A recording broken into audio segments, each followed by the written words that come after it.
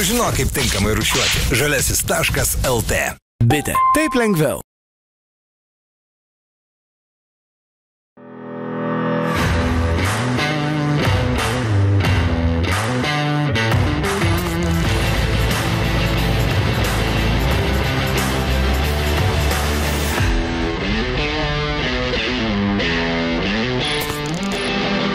Labas rytas, mėlyjeji, su jumis ir vėl laida Misija Vasara. Šiandien mes keliausime į Klaipedą ir aplankysime vieną didžiausių pajūrio švenčių - jūro šventę. Šią vasarą jau net 13 kartą Klaipedoje vyksta vikingų drakonų laivų lenktynės. Kaip vikingų kultūra prigijo Klaipedoje ir kas ta mislinga kirkovenė, paklausime netgi 18 vikingų laivų savininko ir vyriausiojo šių rungtynių teisėjo Arvido Stašaičio.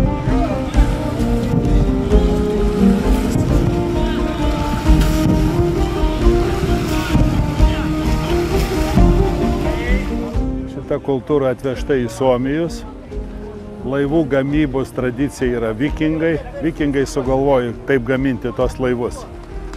Suomijų kultūra išvystyta gana neblogai. Iki 500 laivų Suomijai turi. Aš antras pasaulyje turiu 18 tokių laivų. Trečias yra kanadietis, Toronte turi 12 laivų. Visi kiti po vieną, du, tris. Suomiai vadina kirkovienę, kadangi jie atgaivino tą vikingų kultūrą. Suomijai daug ežerų, archipelagė, kiekvienoje saloje nestatysi bažnyčios ir turgaus. Tai būdavo jų susisiekimo priemonė nuvykti į bažnyčią ir į turgų. Pakeliui, grįždami namo, jau biški po karčiamos, pradėjo lenktyniauti. Taip ir įsivystė kultūra. Vikingų laivus gaminti ir su jais rungtyniauti sugalvoja Suomis, pasigamintų laivų apiplaukė salą. Ir įveikęs 60 km nusprendė organizuoti laivų regatą. Kauko Mytenenas, jau miręs senukas, sugalvojo gaminti tuos laivus, aš dar jį asmeniškai pažinojau, aplink salą Sajamoje ežere, 60 km apiplaukė vienas ir pasakė, čia bus lenktynės. Tai lenktynės įsivystė iki tokių, kad 2003 metais buvo e, 10 242 dalyviai. Nu, aš nuvažiavau ten sudalyvauti, pasižiūrėjau, patiko, galvoju, reikia į Lietuvą vežti tą kultūrą. Nupirkau keturis laivus, dvi priekabas tiem laivam vežti. Nu ir pradėjau. Arvido Stašaičio entuzijazmo pakako ir laivams įsigyti, ir tradicijai Lietuvoje sukurti. Ši regata vyksta jau 13 metus ir sutraukia vis daugiau dalyvių. Dalyvių iki 500 žmonių dalyvauja. O kadangi dalyvauja 40 ir daugiau komandų, tai kai kurios jau siekia meistriškumo ir net yra buvę prieš du metus fotofinišas nenustatė trečios vietos laimėtojo. Tai yra idealiai atėjo. Tai gamino dar vieną taurę. Dvi taurės buvo įteiktus trečiom vietom dėl to, kad parodė idealų laiką. Lietuvoje šitą regatą stipriausia, virš 40 dalyvių, o pasauliniu mastu mes kiekvieną pavasarį važiuojam į Veneciją. Milano ir Klaimo klubų užsakymų vežam laivus. Daugiausia esam 12 laivų jam nuvežę, šįmet 5 laivus vežėm. Vikingų laivų regata vyksta ne tik Laipidos jūros šventėje. Rūpiučio 4-5 dienomis entuziastai ir žiūrovai laukiami šventojoje, o rūpiučio 18-19 dienomis Palangoje vasaros vandens sporto šventėje. O Arvidas Tašaitis pabrėžia, kad ši sporto rungtis yra ne tik sportinė, bet ir rekreacinė. Pirmiausia, sveikatinam žmogus, kadangi ant vandens yra specialus klimatas. Dėl saulės spindulių lūžių, dėl drėgmės tam tikros koncentracijos ir degonės, kuris gaminasi pakrantėse tie augalai, kur apžėlė visus tos mūsų vandenys. Tai čia ypatingai sveikas klimatas ir dėl to įgauna žmonės sveikatus, taip pat jie užsiminėja gana aktyviai, didžiosios raumenų grupės dirba. Ir jūs žinot, kad daugiausiai ligonių ir mirčių yra širdies kraujagyslių sistemų sutrikimai, tai čia va kaip tik tai vaistas nuo šitų lygų. Kitas dalykas, dar ta edukacinė pusė, tai mokinam žmonės, kaip elgtis komandoje, prie vandens ir ant vandens. Žiemos metu irkluotojai varžytis nesustoja. Varžybos vyksta ant specialių treniruoklių sausumoje. Šitie irklavimo treniruokliai pagaminti Bostone, JAV aukšto lygių ir vyksta ir Lietuvos čempionatas, ir Pabaltijų, Europos ir pasaulio čempionatai vyksta su šitais.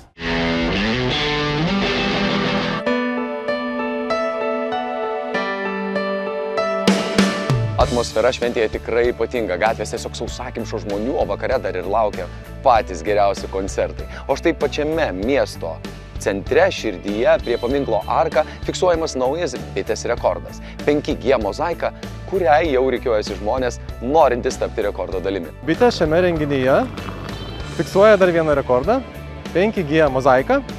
Mes kviečiame visus jūros šventės dalyvius atvykti prie bitės stendo ir nusifotografuoti ir kiekvienas nusifotografavęs tampam šio rekordo dalyvių.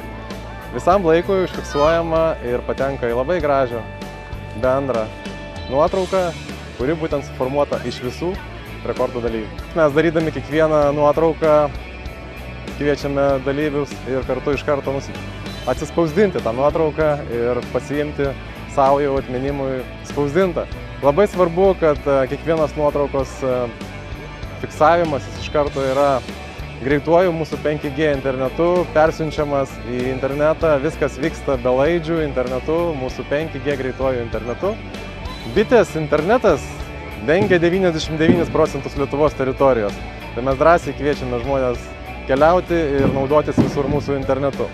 5G internetas šiandien dieną jau dengia 1,2 milijono Lietuvos gyventojų ir dengia visus didžiosius miestus, rajonų centrus ir kas yra svarbu, mes nesustojame, mes kiekvieną mėnesį vis daugiau ir daugiau aktyvuojame 5G stočių ir kuo žmonės daugiau keliauja, tuo daugiau pamatys to 5G interneto visur.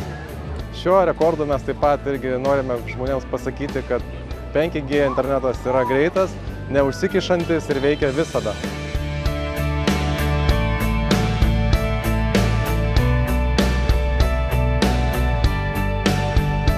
Sėdžiu ne reklaminėme automobilyje, o greitojoje bitės pagalboje. Būtent su tokiais automobiliais bitės meistrai keliauja po visą Lietuvą ir suteikia greitąją pagalbą, kokybiškam interneto ryšiui atkurti ir įvairiems gedimams šalinti.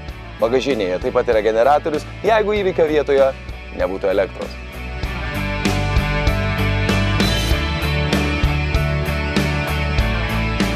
Labai svarbu, kad internetas būtų ne tik greitas, bet ir veiktų nuolatos o interneto veikimui svarbiausia yra bazinės stotis ir elektros energija.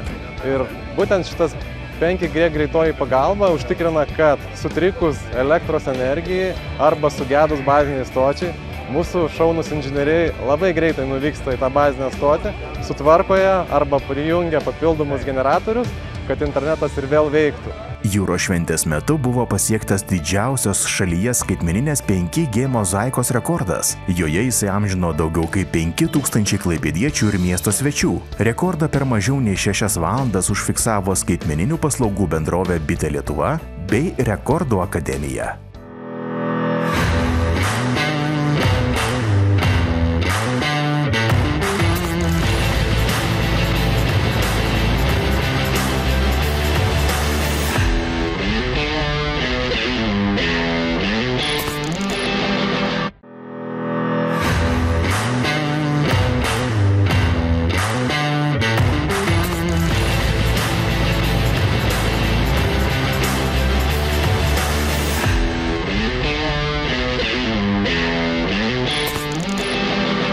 Šios šventės metu akis užkliuvo už vieno ypatingo laivo, kuris skiriasi nuo visų kitų Danės krantinėje stovinčių laivų.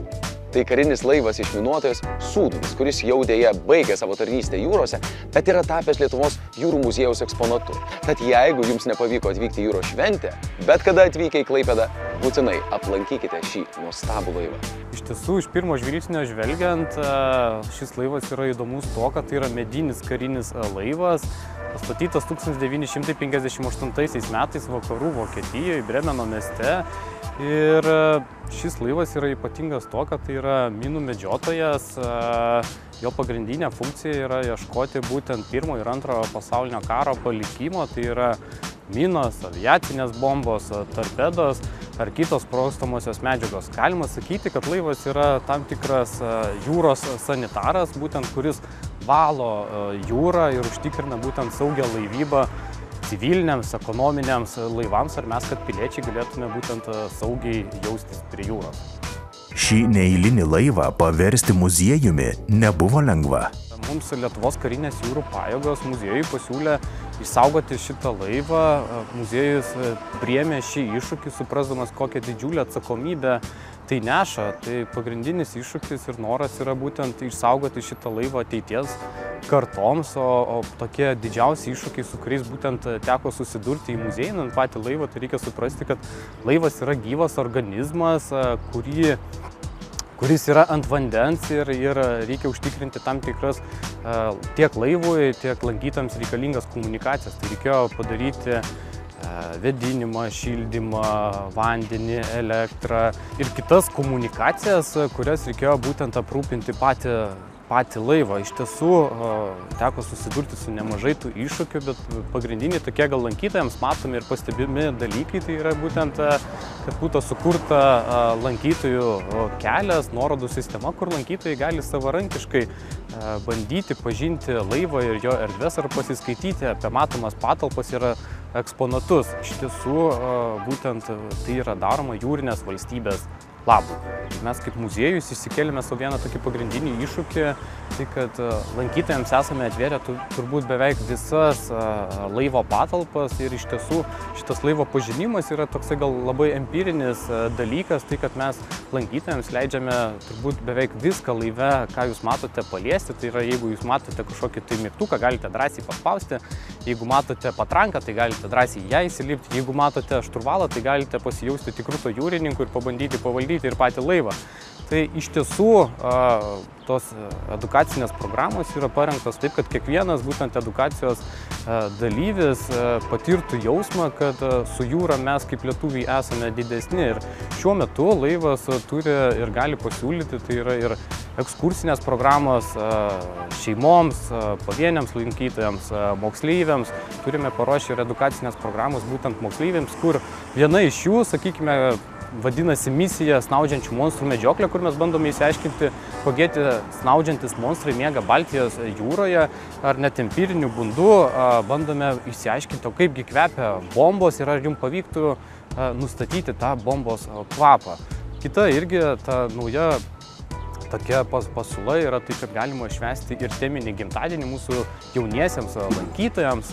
Tai yra teminis gimtadienis, kur lyg tai jūs tampate jūrininkai, bandantis tapti ir praeiti būtent jaunesniųjų karininkų vadų mokymus ir tapti laivo vadais. Tai iš tiesų tu, ta pasiūla, jinai po truputį auga ir reikia suprasti, kad mes dirbame tik tai vienerius metus ir po truputį tiek edukacinės paslaugos, tiek, tiek ir muziejinės veiklos, jos, jos, jos po truputį aplipdys ir patį laivą.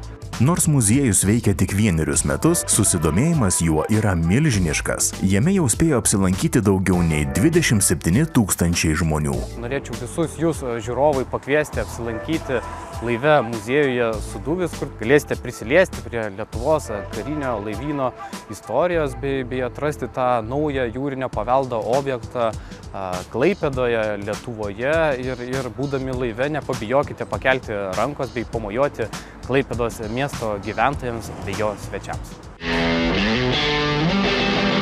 O dabar mūsų geriausio laidos draugo žalesis taškas rubrika Atsišiukšlink. Ir šį kartą lekiam į Vilniaus gimtadienį, kuriame žalesis taškas įsikūrė tikrą pramogų oazę su vasaros pikniku. Na, šiandien ypatinga tokia diena, gal ir kaip tik ir tema aktuali irgi yra, nes esame Vilniaus gimtadienio šventėje, Vilnius visada jaunas, 700 metų švenčiam, tai tikrai tokia proga labai reta yra.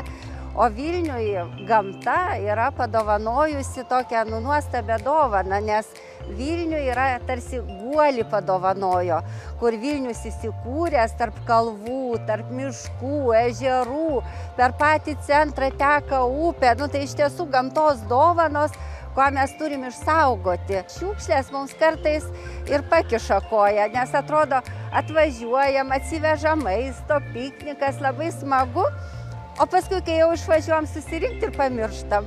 Tai vat irgi yra tokia, kad nu, žmogiška klaida, nu, reikia mokytis, o mokytis yra kur? Mums padeda žalesis taškas labai.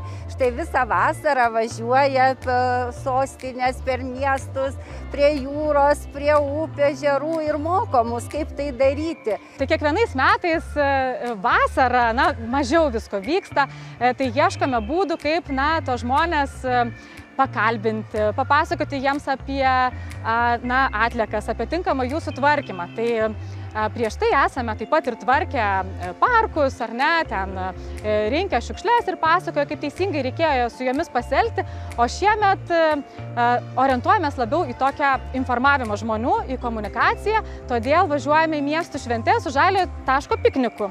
Tai turime tokią idėją papasakoti žmonėms, kad na, net ir vasarą atlikos netostogauja, jų vis tiek yra gausu, keliaujame ar ne į miškus, prie žerų, linksminame linksminamės, džiaugiamės vasarą, na, bet tas krepšelis, kurį parsivežam į gamtą, na, vis tiek lieka ten nemažai atliekų, ypatingai daug pakuočių e, ir su jomis reikėtų teisingai pasielgti. Tokie mūsų mokymai yra labai svarbus ir gamtai, ir mums žmonėms, nes gamta yra tokia unikali, juk gamtoje nėra, pavyzdžiui, ir savokų tokių kaip blogas, e, kažkoks nenaudingas. Gamtoje visi yra naudingi, kiekvienas turi savo vietą ir todėl nereikia ten įsiterpus sugadinti tą tokią pusiausvyrą nusistovėjusią, o gamtam priima kiekvieną žmogų labai mielai.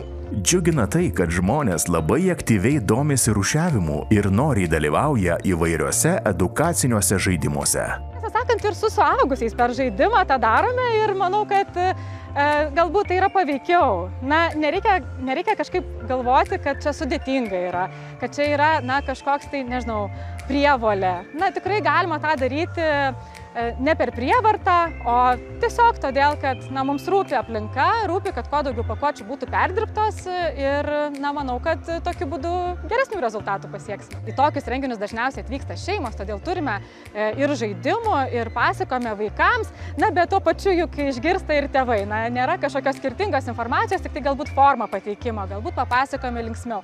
E, iš tiesų matome didelį susidomėjimą visur ir tai yra nenostabu, todėl kad na, šių metų pradžioje E, atlikome apklausą e, ir sužinojome, kad apie pusę Lietuvos gyventojų sako, kad na, jie visada rušiuoja visas atlikas, tai yra didelis kiekis žmonių. E, na ir dar 37 procentai sako, kad jie rušiuoja beveik viską arba beveik visą laiką. Džiaugiamės, kad taip pat tyrimas parodė, kad per pastaruosius dviejus metus daug žmonių pradėjo rušiuoti, kurie anksčiau nerušiuodavo.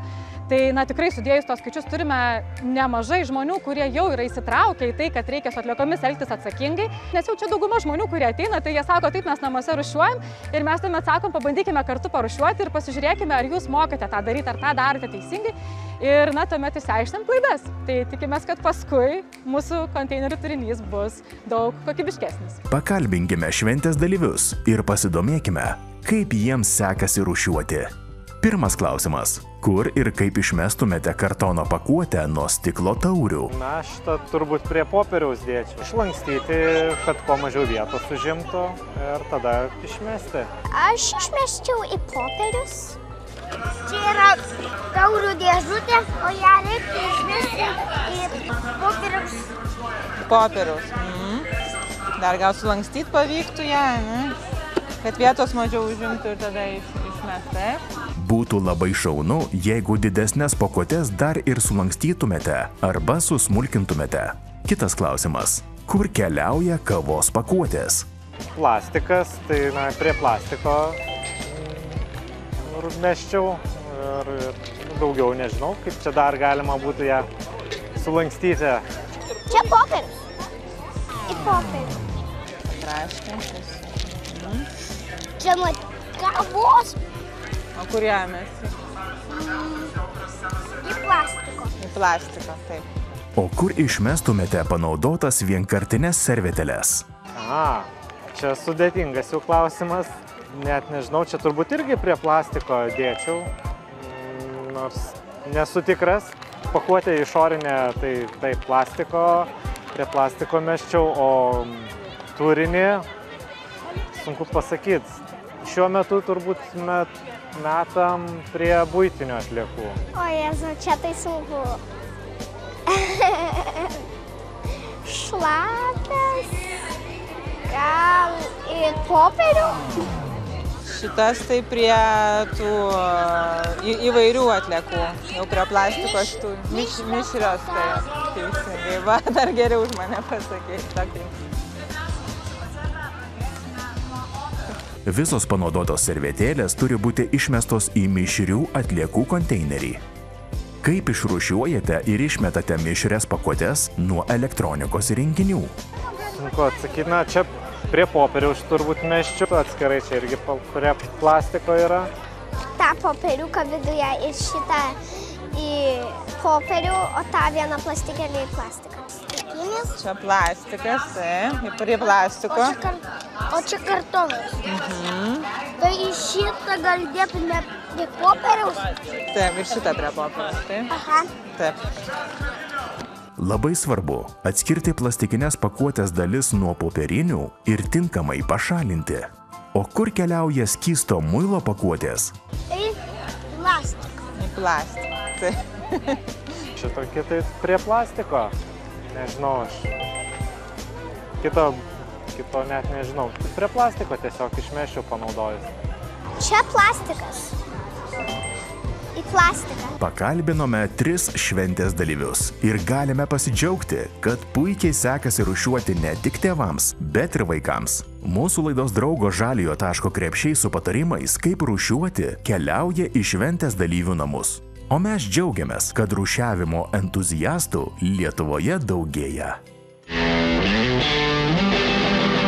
Kiekvieną šeštadienį priminame jums, kad būtinai išeikite atostogų, pailsėkite, bet nepamirškite, kad rušiavimo įpročiai turi keliauti su jumis. Tai tiek šiandien ir mes pasimatysime jau kitą šeštadienį. Iki pasimatymo.